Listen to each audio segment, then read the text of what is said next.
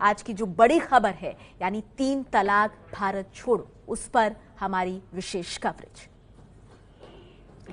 और हम आपको बता दें कि लोकसभा में ये पहला बड़ा विषय है चर्चा के लिए आज।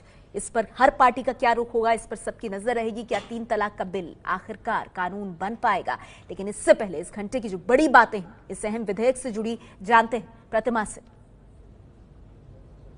जी नेहा, बिल्कुल, तीन तलाक पर आज लोकसभा में चर्चा होनी है और इसको लेकर कुछ बड़ी बातें अपने दर्शकों को बता देते हैं। तीन तलाक, यानी तलाक बिद्दत से जुड़ी हुई कुछ बड़ी बातें। तीन तलाक विधेयक पर आज लोकसभा में चर्चा होनी है, ये हम आपको बता दें। और बीजेपी ने सभी सांसदों को इसके लिए विप जारी किया है, यानी सभी सांसदों का लोकसभा में मौजूद होना कंपलसरी कर दिया गया है, विप जारी किया गया है बीजेपी की ओर से। और कांग्रेस ने भी अपने सभी सांसदों को लोकसभा में मौजूद रहने के लिए विप जारी किया है। बैठक में विधेयक पर रुख तय करेगी। कांग्रेस एक बैठक करेगी जिसमें तय होगा कि उसका रुख इस पूरे मामले पर, इस बिल पर क्या रहने वाला है। जी नेहा। आपका प्रतिमा तो प्रतिमा हमें जानकारी देती हुई कि किस तरह से तीन तलाक को लेकर के सियासी हलकों में गतिविधियाँ काफ़ी तेज हो गई हैं। सुप्रीम कोर्ट ने जिस वक्त इसे असंवैधानिक बताया था, उसके बाद से काफ़ी वक्त बीत गया है, लेकिन अब भी मुस्लिम महिलाओं को, इस देश को और हर वो शख्स जो बराबरी के अधिकार में यकीन रखता है, इंतज़ार है कि तीन तलाक कब कानून बने। सूत्रों के हवाले से ताज़ा जानकारी यह है कि कांग्रेस तीन तलाक के बिल को स्टैंडिंग कमेटी में भेजने की मांग करेगी। तो देखिए, एक बार फिर से पेज फंसता हुआ बिल को स्टैंडिंग कमेटी में भेजने की मांग कर सकती है। कांग्रेस पार्टी सूत्रों के हवाले से बड़ी जानकारी हमें मिल रही है। 11 बजे चर्चा से पहले 10 बजे कांग्रेस पार्टी की बाकायदा बैठक हुई है और अब यह जानकारी हमें मिल रही है कि तीन तलाक को स्टैंडिंग कमेटी में भेजने की मांग कर सकती है कांग्रेस पार्टी। एबीपी न्यूज़ संवाददाता आशीष कुमार सिंह का इस खबर पर रुख करेंगे। आशीष तो इस, इसका मतलब एक बार फिर से पेज फंसता हुआ और अब इसे लटकाने के लिए अब स्टैंडिंग कमेटी में भेजने की तैयारी। देखिए, कांग्रेस पार्टी ने तय किया है और दूसरे अपने जो पार्टियाँ उनके साथ अलायंस में हैं, उनसे भी कांग्रेस पार्टी बात करेगी इस बाबत। लेकिन सूत्रों ने बताया कि कांग्रेस पार्टी आज चर्चा में शामिल होने के बाद वोटिंग के वक्त इस बिल को स्टैंडिंग कमेटी को भेजने की मांग करेगी। हालाँकि संख्या बल सरकार के पास है। सरकार इसको लोकसभा में पास करा लेगी, लेकिन आगे चल के राज्यसभा में फिर यह मामला अटक सकता है, क्योंकि कांग्रेस पार्टी ने अपना रुख साफ़ कर दिया। अब से कुछ देर पहले संसद में बैठक हुई और यह तय किया गया है कि कांग्रेस पार्टी चर्चा में शामिल होगी नेहा, लेकिन बिल का समर्थन वोट के माध्यम से नहीं करेगी और इस बिल को स्टैंडिंग कमेटी को भेजने की मांग करेगी क्योंकि कांग्रेस अपने उस पोजीशन पर अभी भी कायम है कि जो सजा का प्रावधान किया गया है, वो गैर जमानती ना हो, जमानती हो और उसके लिए अगर सरकार राज़ी नहीं होती है तो इसको स्टैंडिंग कमेटी को भेजा जाए। यानी आशीष, हम ये कह सकते हैं कि तीन तलाक पर अगर कांग्रेस पार्टी यही रुख लेती है स्टैंडिंग कमेटी में भेजने का तो तीन तलाक को कानून बनने में फिर वक्त लगेगा, यानी मामला फंस जाएगा। देखिए जैसा मैंने आपको कहा कि लोकसभा में संख्या बल सरकार के पास है। लोकसभा से सरकार पास करा सकती है लेकिन कानून का रूप लेने के लिए राज्यसभा से फिर से पास कराना पड़ेगा। और निश्चित तौर पर जो संख्या राज्यसभा की है और उसमें कांग्रेस का ये पोजीशन लेना खास करके इन तीन स्टेट में चुनाव जीतने के बाद जो जो सपोर्टिंग पार्टीज़ हैं वो कांग्रेस का साथ देने के लिए राज़ी है। निश्चित तौर पर इस ट्रिपल तलाक कानून का पास हो जाने के बाद दोनों सदन में कानून का स्वरूप लेना निश्चित तौर पर अटक जाता है और क्योंकि बहुत जल्द लोकसभा से पास होने के बाद इसको राज्यसभा में रखा जाएगा और वहाँ भी कांग्रेस पार्टी पोजीशन जहाँ असली परीक्षा होने वाली है बीजेपी की। बहुत बहुत शुक्रिया आशीष आपका इस जानकारी के लिए और इस वक्त एक बड़ी खबर हम आपको दे दें। लोकसभा में इस वक्त राफेल को लेकर हंगामा हो रहा है। उधर राज्यसभा हंगामे के चलते कल तक के लिए स्थगित हो गई है। लोकसभा में राफेल विवाद को लेकर कांग्रेस का हंगामा। ये बड़ी खबर सामने आ रही है।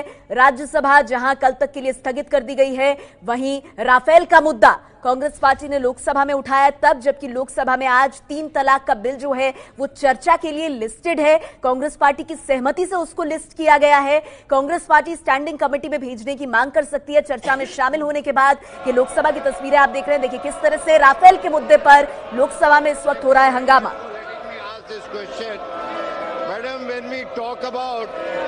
Monetization of assets, one of the assets is the routes. Air India is one of the best airlines in the world. One of the reasons why Air India has gone into red is because you have not really utilized your routes efficiently and the routes were given to somebody else. My question is, are you having a rule relook at monetizing the routes of Air India? One of the reasons, I'm not blaming your government, it has happened before that. Are you going to have a relook at the routes of Air India?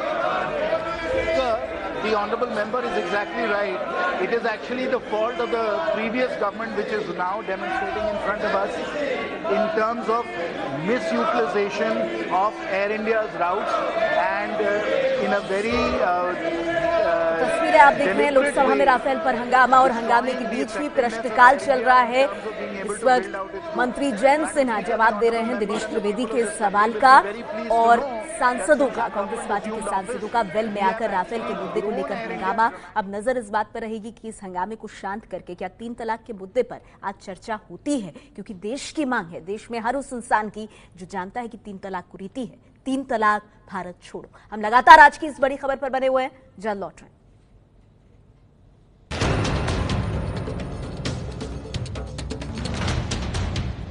ABP news पर इस वक्त की बड़ी खबर हम आपको दे दें। तीन तलाक पर आज लोकसभा में चर्चा होनी है। इस वक्त लोकसभा में राफेल हंगामे के बीच में प्रश्नकाल चल रहा है। राज्यसभा कल तक के लिए स्थगित कर दी गई है। हालाँकि बड़ी जानकारी हमें यह मिल रही है सूत्रों के हवाले से कि कांग्रेस पार्टी इस बिल को स्टैंडिंग कमेटी में भेजने की मांग करेगी। लोकसभा में चर्चा में शामिल होगी कांग्रेस पार्टी। और इस बीच कानून मंत्री रविशंकर प्रसाद क्या कह रहे हैं सुनते हैं। country after 70 years of non-discrimination, dignity of life of women, you say talaq, talaq, talaq and the marriage ends. Nothing can be more unequal than this. And I'm sure the Lok Sabha, the parliament, true to this tradition, would rise to occasion. It has nothing to do with party, political divide or ideological divide. Thank you. कानून मंत्री रविशंकर प्रसाद को आप सुन रहे थे वो कह रहे हैं कि पार्टी लाइन से ऊपर उठकर जो ये प्रथा है, इस पर प्रहार करने की ज़रूरत है। लेकिन इस वक्त बड़ी जानकारी हमें मिल रही है कि हंगामे के बीच लोकसभा 12 बजे तक के लिए स्थगित कर दी गई है। जैसे कि हम आपको दिखा भी रहे थे, सीधी तस्वीरें कांग्रेस पार्टी के सांसद राफेल को लेकर के हंगामा कर रहे थे लोकसभा में प्रश्नकाल के दौरान। प्रश्नकाल रोक करके बारह बजे तक लोकसभा को स्थगित किया गया है और अब इसके बाद संभावना इस बात की रखिए आप कि तीन तलाक, जो कि लिस्ट किया गया है आज चर्चा के लिए, तीन तलाक का बिल उस पर चर्चा होगी। लेकिन फ़िलहाल राफेल विवाद पर कांग्रेस के हंगामे के चलते लोकसभा को 12 बजे तक के लिए स्थगित कर दिया गया है। राज्यसभा कल तक के लिए स्थगित की गई है। इस बीच लगातार, जैसे कि हम आपको जानकारी दे रहे हैं, क्योंकि हर पार्टी अपनी रणनीति बना रही है और राज्यसभा में इस बिल को कानून बनाने के लिए कांग्रेस पार्टी के समर्थन की ज़रूरत बीजेपी को है। कांग्रेस पार्टी सूत्रों के हवाले से जानकारी मिल रही है कि इस बिल को स्टैंडिंग कमेटी को भेजने की मांग करेगी। चर्चा में शामिल होगी कांग्रेस पार्टी, लेकिन उसके बाद रुख होगा स्टैंडिंग कमेटी में भेजने का, और इस बीच बड़ी जानकारी लोकसभा 12 बजे तक के लिए स्थगित करनी पड़ी है। राफेल विवाद पर कांग्रेस का लोकसभा में हंगामा। बीजेपी से हमारे साथ रोहित चैल जी मौजूद है। रोहित जी मामला तो फंस गया आप लोगों के लिए, क्योंकि अगर स्टैंडिंग कमेटी में इस मामले को भेजा जाता है तो बिल बिल ही रह जाएगा। नेहा जी, बिल्कुल देखिए, जिस तरीके से कांग्रेस पार्टी लगातार किस तरीके से इसको लटकाया जाए, आगे बढ़ाया जाए, कांग्रेस पार्टी उस पर लगी हुई है।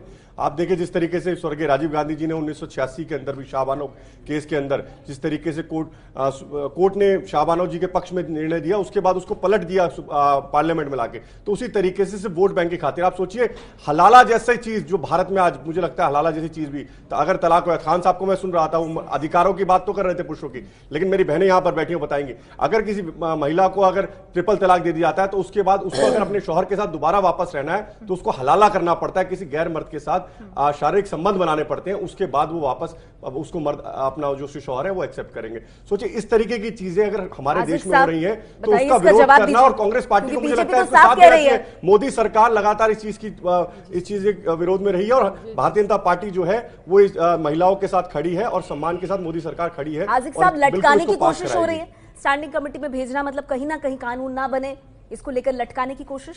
देखिए, कांग्रेस पार्टी की अपनी रणनीति है, किस रणनीति के एतबार से वो कर रहे हैं, वो तो जवाब वो देंगे।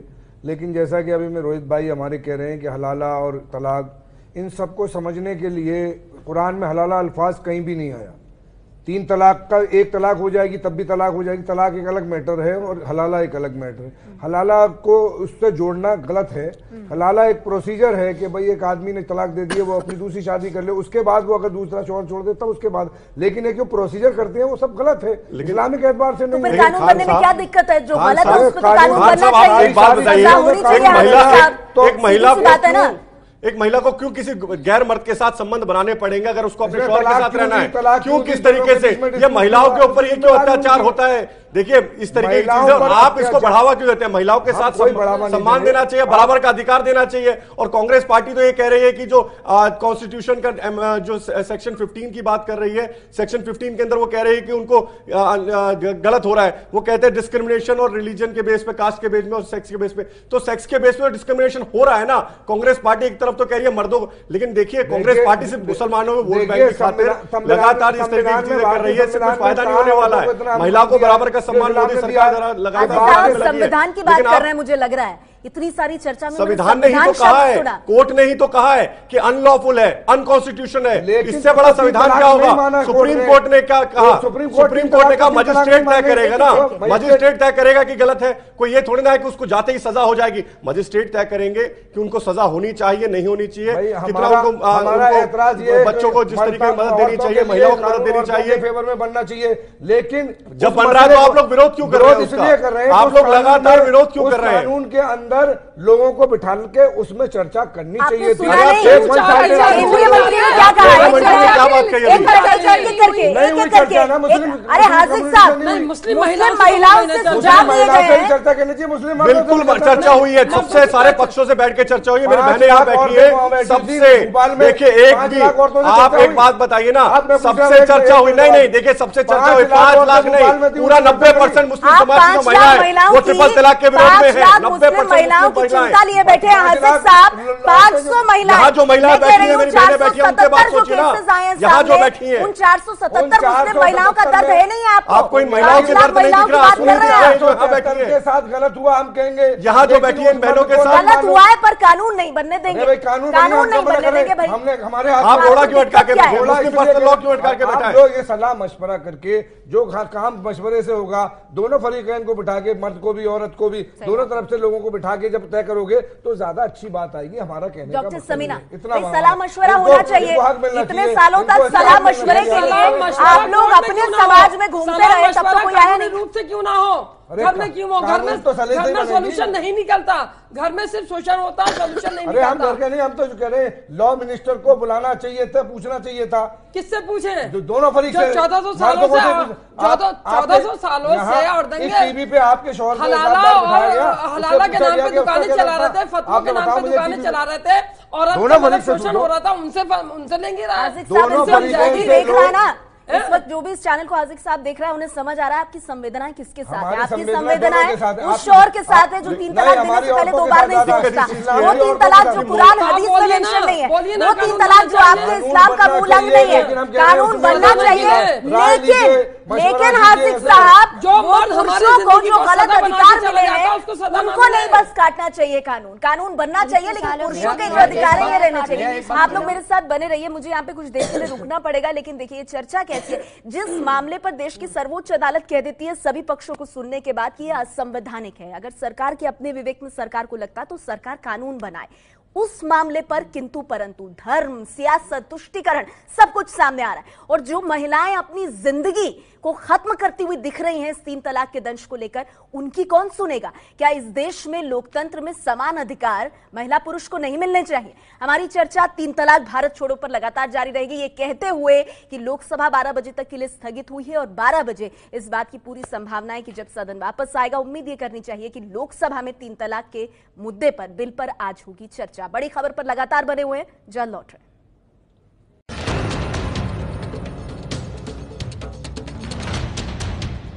ये है एबीपी न्यूज़ आपको रखे आगे।